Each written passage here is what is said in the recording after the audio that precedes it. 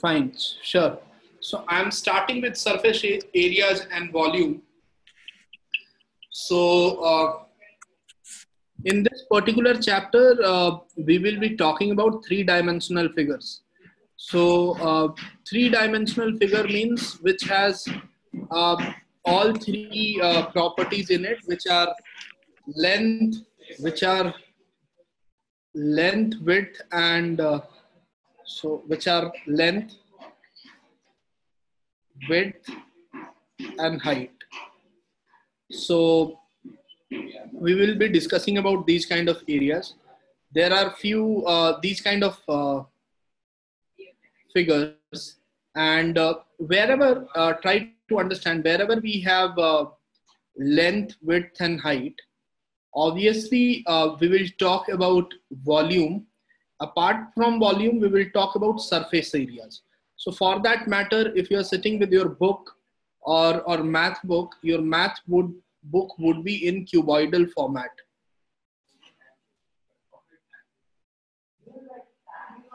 So it would be something like this.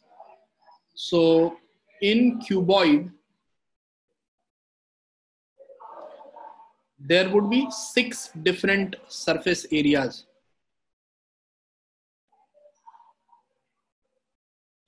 So this is the front one, exactly opposite to it. This would be the back one.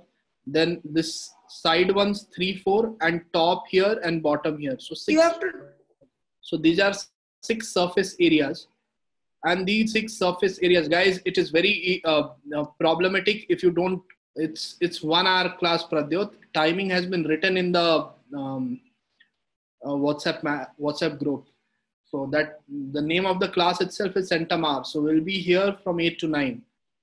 So if you look at it, the complete space inside it is known as volume. And then we have surfaces. So different surfaces, front, back, two sides, right and left, and then top and bottom in case of cuboid here. So uh, we will be discussing about uh, different surface areas and, and, and volume. Guys, one more thing, when Centum Hour classes are going, don't join at your behest because the timing is less. So uh, join at, at, at, at proper timing so that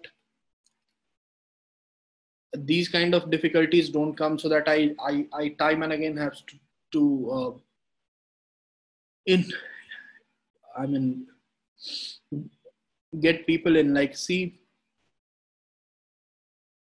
to admit people time and again.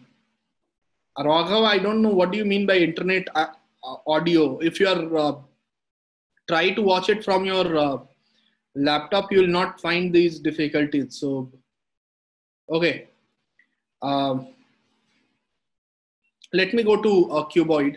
The figure has already been made in front of you. So uh, this is the length. This particular thing is length. This is length this is width. So HG here is length and GF here is uh, width and GB here is height. And you look at here from H to C, if I draw this line, HC here is diagonal. Fine. So what would be the volume? Volume is length into width into height lbh what is the diagonal? So diagonal is nothing but you look at here to draw the diagonal to find out the diagonal hc i draw first hf so hc square is equal to hf square plus fc whole whole square. Now hf square is from this hf square is equal to hg whole square plus gf whole square. So I write here hc whole square is hg square plus gf square plus fc square. So this is equivalent to hg whole square is length square, gf whole square is width square, and fc whole square is uh, which is is also uh, parallel to ZB. So that is equal to, uh, so I'm writing here, FC is equal to ZB. So this is equal to H square. So diagonal is equal to under root L square plus B square. So you have volume as LBH. You have diagonal as L square plus B square plus H square. Now, generally, there is a question asked in, in the examination that what would be the length of the longest rod that can be inserted in the diagonal. Always remember that either in, in uh, inserted in the cuboid. Always remember whether it is cube or cuboid, the longest possible side is the diagonal of that, of that cube or cuboid. So if somebody is asking you that what can be the longest rod that can be inserted in a cube or cuboid, it would be nothing else but uh, please put your uh, uh, microphones on silent. So else uh, it would be the length of the diagonal, which is L square plus B square plus H square. Now, um, can you please put your microphones on silent? Okay, now let me go to the total surface area thing. The total surface area thing would be here. So try to understand. Uh, if you look at length and width, this uh, upward and downward, the area of uh, um, the top floor and uh, sorry, the top topmost, the top and the bottom areas would be length into width. And there are two surfaces, so 2LB. Similarly, the side ones would be B into H. And there are a right one and left one, so 2BH. Plus, please put, put your uh, microphones on silent. Please, who is not, once again. Then we have the front front face and the back face. So that would be h uh, h into l. So two h. So total surface area would be equal to 2 lb plus bh plus hl. Is it okay? Keep on writing this. Now, what is the perimeter of cuboid? Perimeter of cuboid, you see here we have length, here we have length, here we have length, here we have length. So four lengths we have. Similarly, one, two, three, four, four widths we have. And we have one, two, three, four, four heights. So 4h.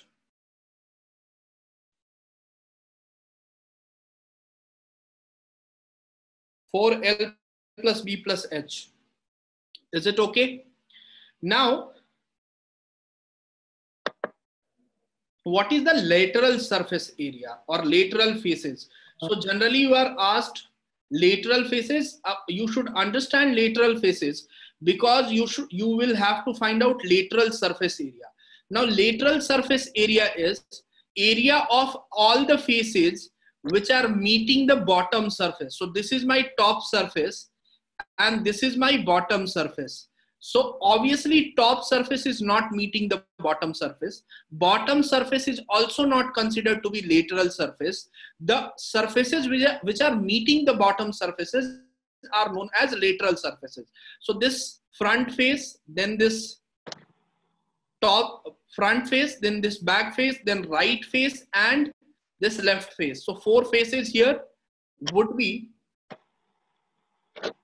lateral surfaces what is the lateral surface area? Keep on writing this. Lateral surface area would be nothing but we have area of L into H. So uh, 2L into H plus we have area of B into H. So 2B into H. So you will have to look at look at the figure how it has been made. This formula is not constant. If I make the figure like this,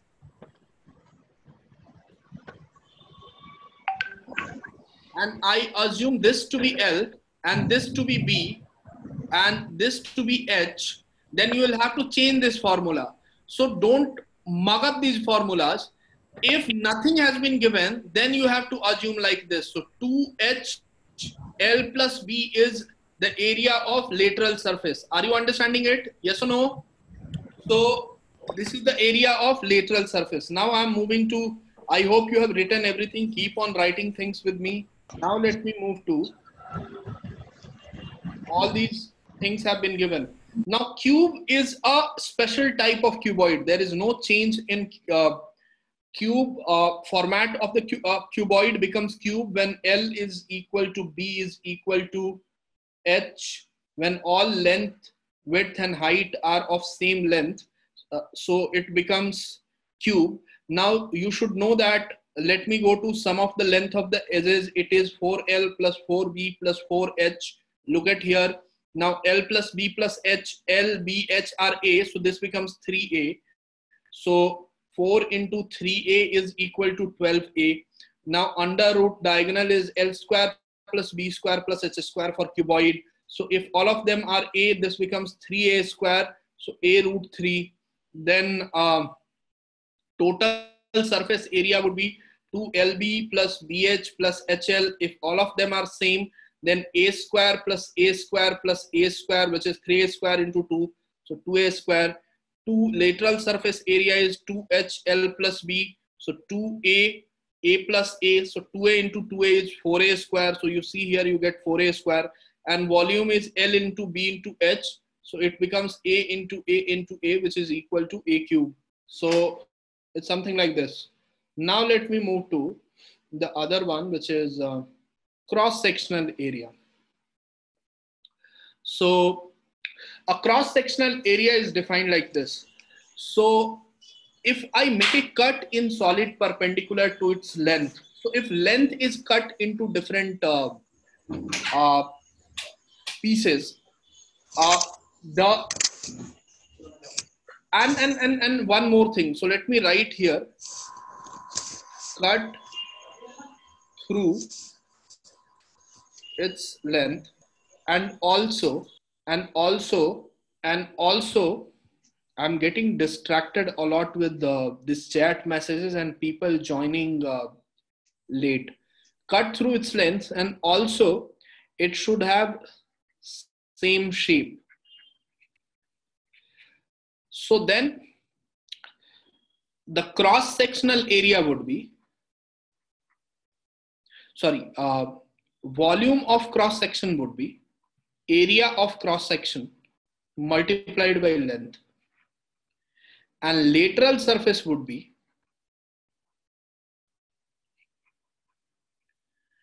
perimeter of the cross section.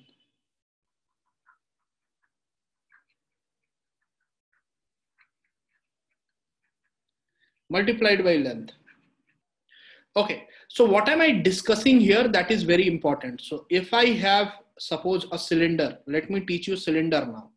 Suppose I have a cylinder, something like this. Now, what is the cross-sectional area? Look at the bottom area. This is the circular area. Is it okay? So across this cylinder, or let me make a horizontal cylinder like this. Across this cylinder, anywhere you go, you find cross-sectional area equivalent to this circular area at top and bottom. So that is what we are discussing that volume till any point, volume of cylinder is, is equal to area of the cross section. So if radius of this circle is r, area of the cross section would be how much? It's a circle, so pi r square. Multiplied by length. What is the length here? Suppose this length is L or H, whatever you uh, assume. So if the length is L or H, then I can write it pi r square H. You look at here, if this is R, uh, r and this is h. So I can write this volume of cylinder as pi r square h. Now what would be uh, lateral surface area? Lat what is lateral surface area? Area which touches the bottom. So all this area except the area here, except the area at this bottom, everything here, the surface area, this outer surface area is known as lateral surface and lateral surface would be perimeter of the cross section. Perimeter of the cross section is 2 pi r multiplied by length. What is the length? h. So 2 pi r h. Now, in these kind of figures, in these kind of figures, we also have something called total surface area. So total surface area is lateral surface area plus area of top and bottom. So which is area of lateral surface here is 2 pi RH. And what is area of top and bottom? Bottom is pi r square here. And top is what? Pi r square. So it is pi r square plus pi r square. How much it is? 2 pi r square. So for a cylinder, the volume is pi r square h. Area of lateral surface area is 2 pi r h and total surface area is equal to 2 pi rh plus 2 pi r square. So if I take 2 pi r common, I have r plus h. So you need to remember this. Is it okay? Yes or no? Fine. So I have done till cylinder. Now let me go to uh, cone. And uh, to do cone, I'm doing cone here. So cone looks something like this.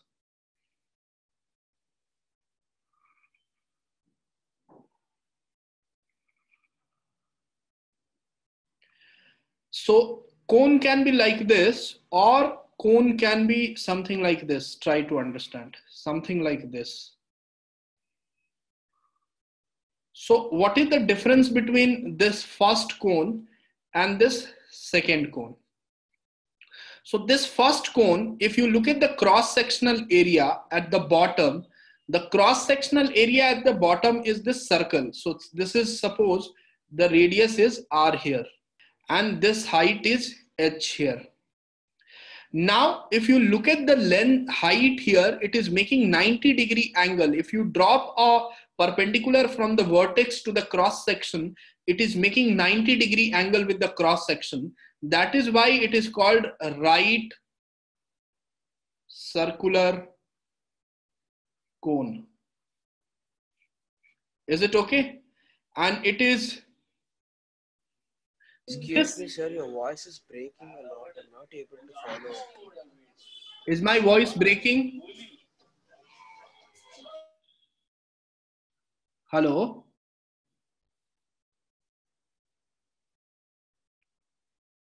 No, sir. Okay, fine. Right circular cone. Now, this kind of cone I'll discuss later, though it is not in uh, guys those who are having problem with voice or or sound quality uh, log in again because uh, for most of them it is going fine. So if if there is any problem you can log out and log in again. That's absolutely not a problem.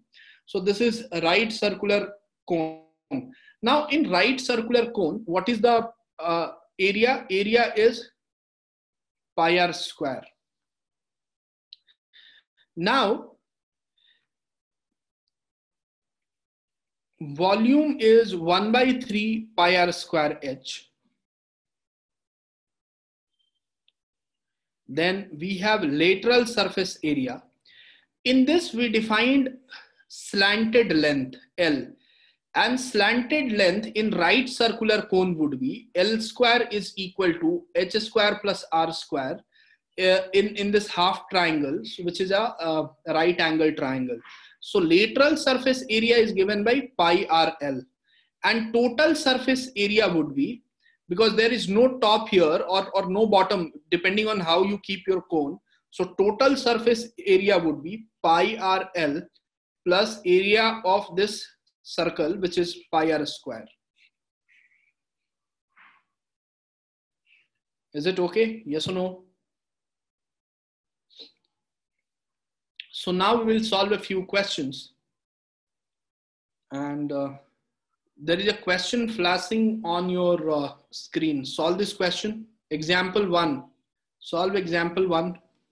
Okay, I'll write Shreyas. I'll write. I'll teach you once again. I'll write. When I'll revise at the end, I'll write. Okay, enough time for this question. The length, width, and length, width, and height are in ratio. So L is to B is to H is, is 6 is to 5 is to 4.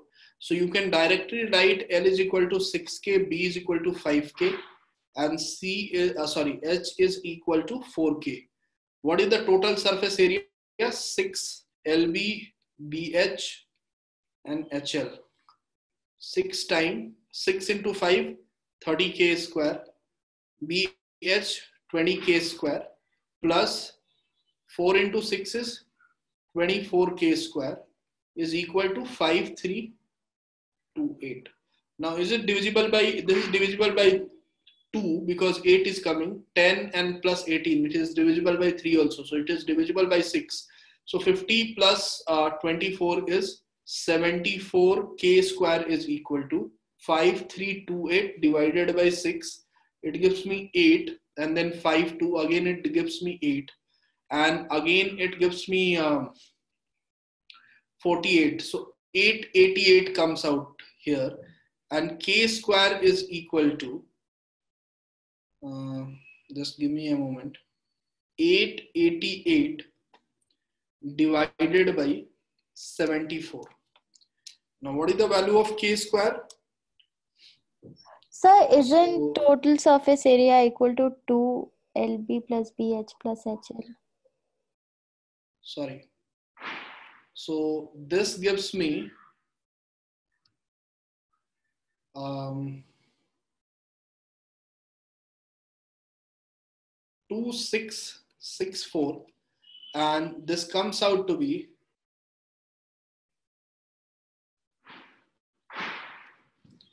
k square is equal to 2664 divided by 74. So if you do 2664 divided by 74, it gives you 36. K comes out to be 6. If K is 6, this is 36, this is 30, and this is 24. Right? Now let me go to another question. Solve question number 2. Okay, enough time for this question. I will not give you more than two minutes for any question. So solve questions quickly. Now, an open rectangular cistern is made of iron 2.5 centimeter thick.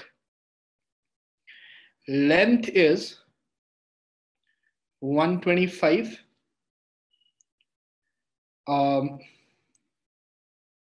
width is 105 centimeter and height is 90 centimeter. Now try to understand what is happening here. If this is the bottom of or, or uh, if this is how the cistern is, what is happening out here is there is some thickness along the length along the width and height at the bottom, not at the top because it's an open cistern. So this width is 2.5 centimeter. You understand like this, that you have something like this and then there is 2.5 centimeter from everywhere. So 2.5 from here and 2.5 from here and 2.5 from here and similarly 2.5 from here. So it means that from everywhere, length minus 5, width minus 5, and height minus 2.5. Why 2.5? Because at the top surface, we don't have any, any covering surface over there. It's an open surface. So 2.5 would be lesser over there. So capacity, internal volume would be uh, removing this. So 125 minus 5 is 120. 105 minus 5 is 100 and 8, 90 minus 2.5 is 87.5 so this is the internal volume in centimeter cube. Now one um, sorry one meter cube is equal to 1000 liters. One centimeter cube is equal to 10 to the power minus 3 liters. Because it becomes 10 to the power 6 centimeter cube is equal to 1000 liters. So one centimeter cube comes out to be 10 to the power 3 divided by 10 to the power 6 liters. So 10 to the power minus 3 liters. So this is the area. Now volume of the iron used, how much volume has been used? So total volume I'll find out. And because the inside inside volume is empty, it's a cistern, so it will be empty inside. So total volume minus internal volume would be equal to volume of the iron used. Is it okay? So total volume comes out here as 125 into 105 into 90 minus volume inside where I, I would be keeping something. So it would be 120 into 100 into 87.5. So how much it comes? This comes out to be as it has been written here 131250. Now, what's the total area? Try to understand. What has been asked? Total surface area of the cistern. Okay. Now, um, the total surface area of the cistern would be, try to understand, if you have something like this,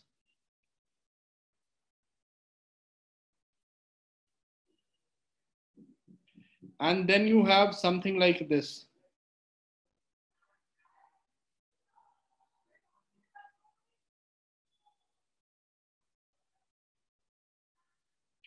So total surface area would be outer area plus this inside area. So area of the four surfaces plus area of the base. So area of the four surfaces would be, try to understand, no top because there is nothing at the top, it's open.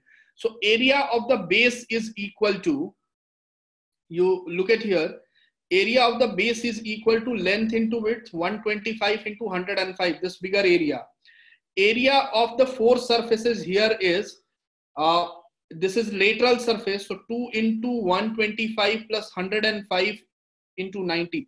This is the area of external. This external area total, this would come out to be 5, 4, 5 to 5 then internal area would be again area of the base. So uh, area of the base is 120 into 100 plus lateral surface 2 into 120 plus 100 into 87.5. This is the internal area. Now area at the top, there would be something area of the top. This is, this is uh, not, this is empty. So I can't add this area, but here at the corners, there is something left out. So area at the top would be equal to area between the outer surface and inner surface. So outer surface is 125. This complete is 125 and from here to here it is 120. So 125 uh, into 100 minus 120 uh, into 105 and minus 120 into 100. So that gives me an area of 1125. If I add all these areas, this is uh, 50500. So if I add 54, this, this, and this, this will be 106150. So that's your answer. Somebody has made, made this, this mark. Please remove it. It's not looking good. This red line which is there at the screen is not looking good. Now let's try to solve some questions of cylinder.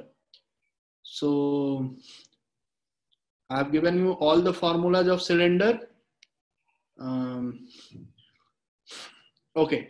Uh, before I teach you, um, uh, before I give you questions to solve cylinders, uh, let me teach you this uh, hollow right circular cylinder.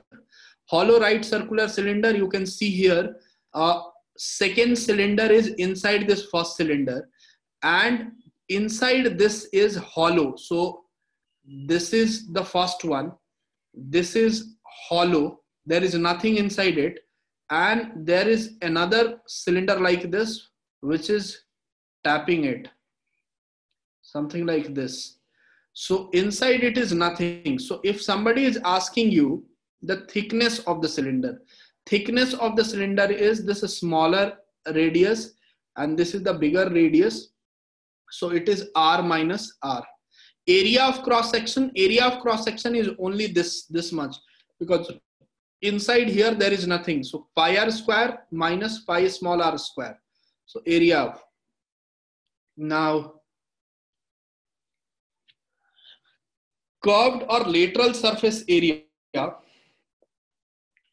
is ex external curved surface area plus internal curved surface area. So external curved surface area is 2 pi RH and internal would be 2 pi small rh. So you take 2 pi h common, you have capital R plus a small r. Now total surface area is this area plus this area. So pi r square minus pi r square. Now uh, volume of the material used, volume of the material used is the lateral surface area multiplied by height. So pi r square minus pi small, small r square into h. And volume of the hollow region is pi small r square into h so that's the that's that's what you have to do so all the formula has been written on the board um, you can just copy it down in the next two to three minutes and in the next one minute sorry and and solve the questions written on the example six okay solve example six now okay enough time for this question. So this question tells me that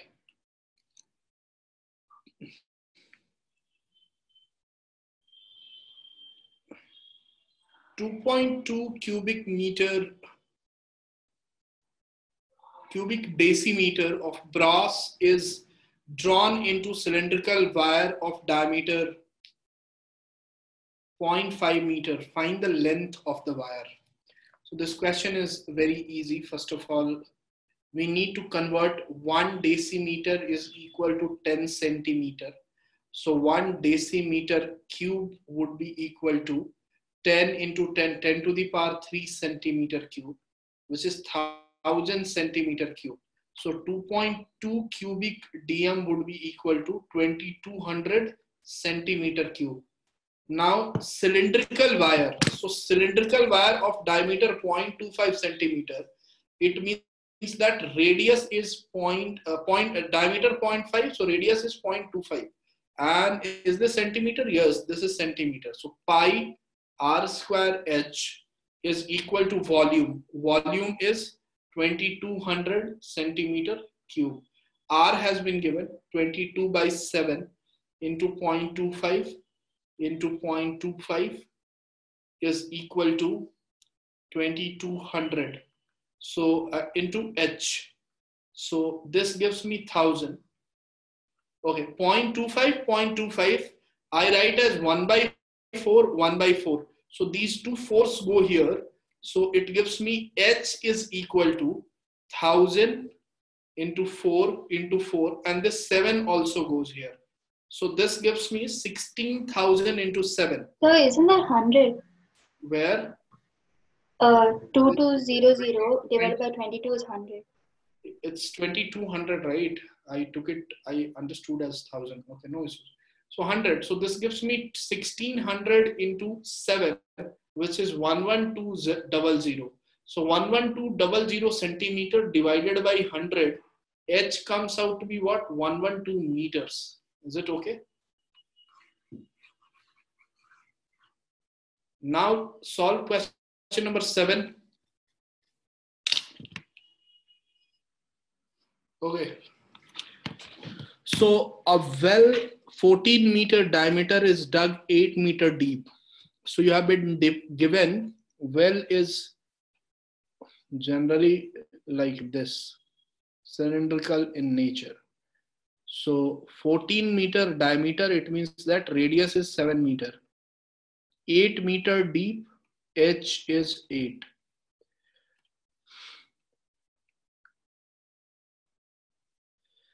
The earth taken out of it has been evenly spread all around it to a width of 21 meter to form an embankment. Find the height of the embankment. So the earth which has been taken out is actually lying out outside it something like this all around it. So what is it? This is 7 so what is the total volume? Total volume is pi small r square h. 22 by 7 7 into 7 into 8 this and this gone. It gives me an answer of 1 2 3 2 meter cube find the area of the embankment. Area of this embankment this is the embankment. So it would be uh, pi capital r square which has been given as 20 um,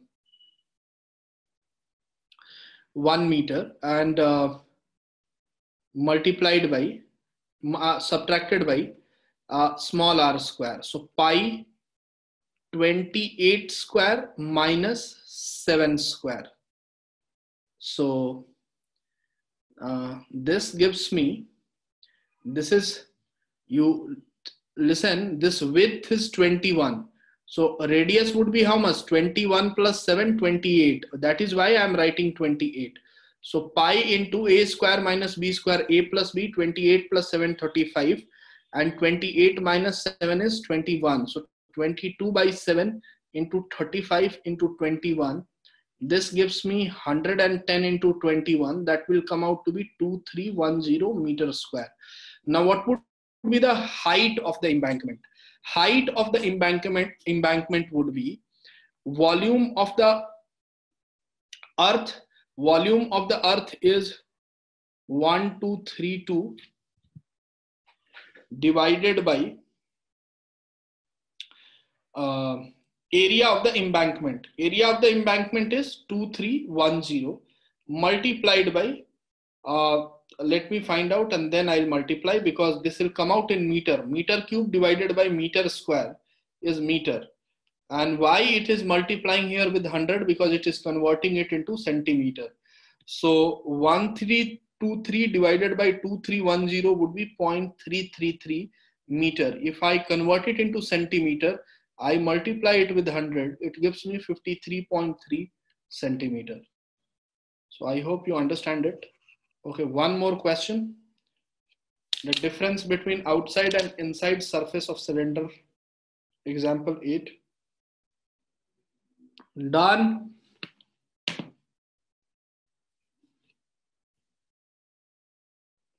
One more minute.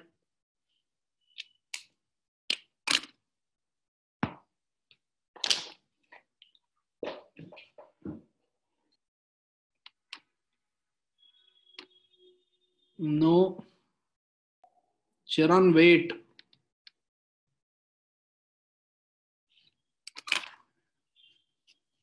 I don't think so, Vanisha. Okay, let me solve this question. The question tells that the difference between the outside and the inside surface of a cylindrical metal pipe 47 cent, uh, 14 centimeter long is 44 centimeter square if the pipe is made of 97 cubic centimeter of metal, find the inner and outer radius of the pipe. Now try to understand the outer surface. See, um, the height is or the length is 14 centimeter. So outer surface area would be 2 pi capital RH. So this gives me 2 uh, into 22 by 7 into R into 14. So which comes out to be 44 into 2, 88 capital R. And internal surface area would be 2 pi small RH is equal to 2 into 22 by 7 into small r into h. So H is 14. So this gives me 88 small r. So now subtraction difference between this area is 44 centimeter square. So 88 capital R minus 88 small r is equal to 44. So r minus r is equal to 44 by 88 that is equal to 1 by 2 now uh, look at here the volume used for pipe would be equal to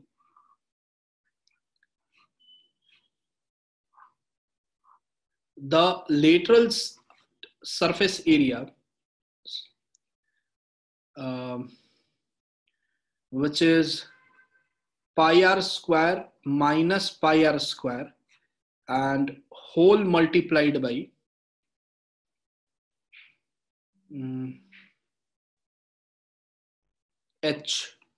So this gives me 22 by 7 r square minus r square into 14 and this is how much? 44 r square minus r square is equal to how much? 99 so r square minus r square is 99 by 44 which is 9 by 4 so i can write it as r plus r multiplied by r minus r is equal to 9 by 4 i know that r minus r is 1 by 2 so r plus r into 1 by 2 is equal to 9 by 4 so r plus r gives me 9 by 2. Now if I add these two equations, 2r comes out to be 9 by 2 plus 1 by 2. So 10 by 2 is 5. So capital R comes out to be 2.5. If capital R is 2.5, so 2.5 minus 0.5 small r will be equal to 2. That's the answer. So this is the answer for today and this is the class for today we have not done questions based on uh, cylinder sorry cone and sphere and hemisphere so that we will continue some other day and then we will uh, um, finish this off so thank you so much for joining and uh, we shall be meeting again for this topic. So the class was, give me a moment.